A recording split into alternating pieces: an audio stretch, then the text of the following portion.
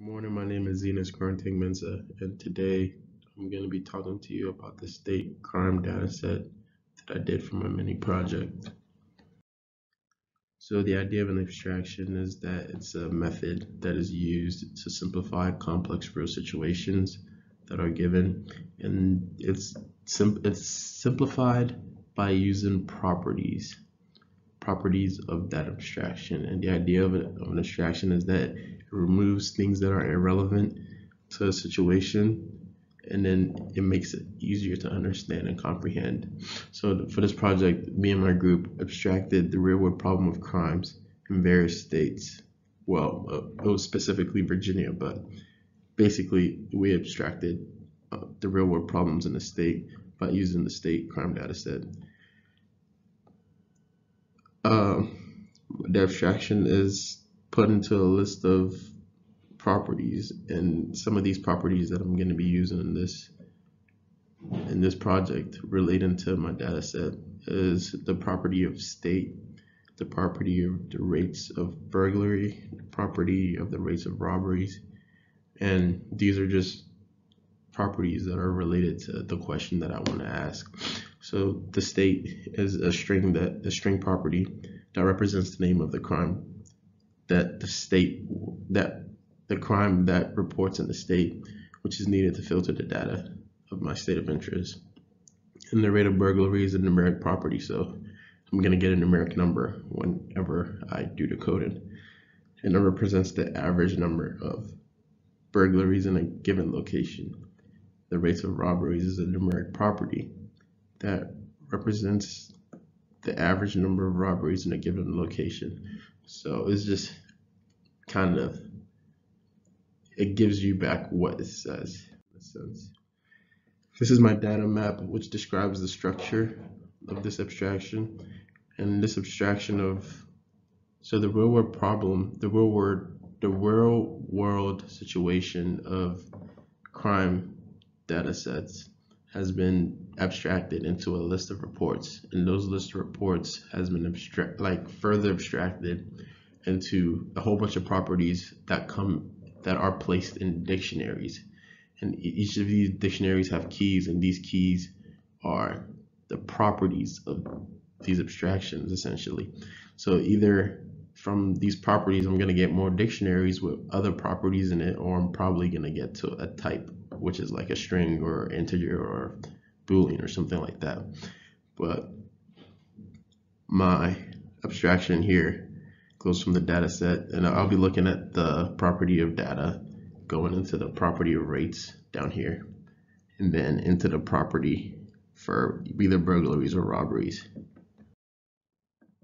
So there are a few limitations for this uh, project just because you're you're never gonna get anything accurate when you're looking for data because not everything has been recorded ever since history started.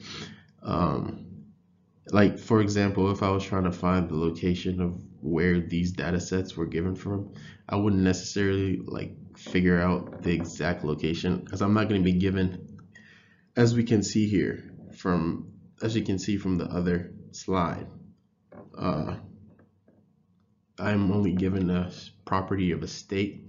I'm not specifically given a property of a city. So if I wanted to see like what the exact location of a crime was, I'm limited to that. I'm limited to what I can look for. I'm only limited to states. I can't look for countries. I can't look for cities. I can't I can't look for counties or anything like that because of the amount of information that the data gives me.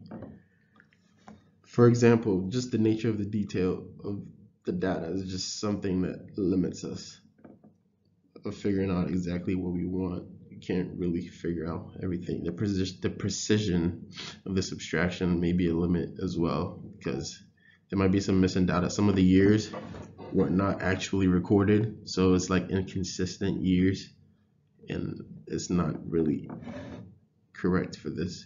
Also, another thing is um, if I wanted to know like how many 19 year olds were caught, caught from burglaries or anything like that, I wouldn't be able to answer the question because the properties from this abstraction that I did doesn't have anything to do with ages or whether they were caught or not, or things like gender or anything like that. So I, I'm only limited to the properties that are given in that abstraction for the data set.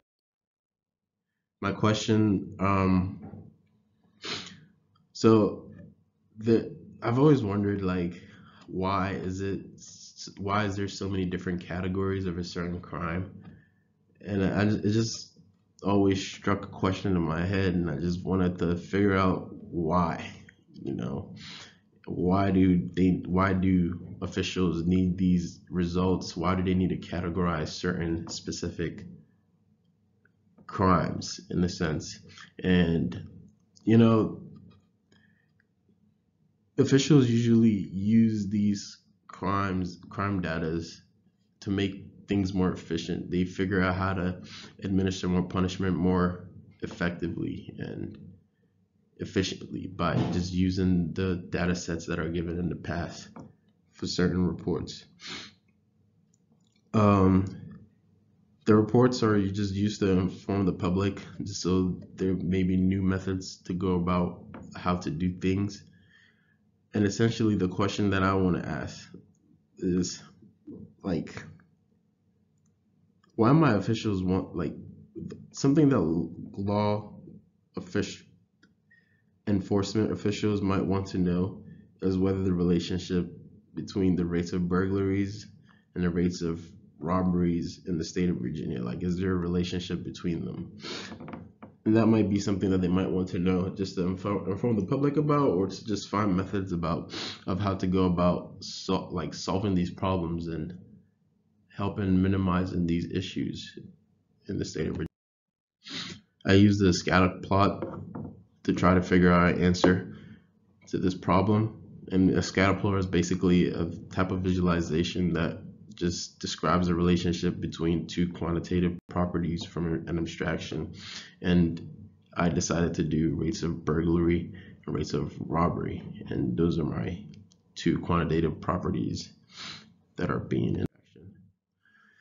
And the answer that I figured out was that they actually they, there was a nonlinear type moderate positive correlation between these um, between these quantitative properties and there were a few outliers in the in the list.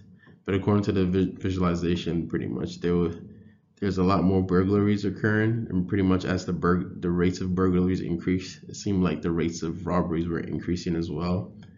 So, I mean, we can confidently say that there there was actually a relationship, and it could actually help reduce these crimes in the state of Virginia if law enforcement decide to figure out what the relationship is and why is it the way that it is.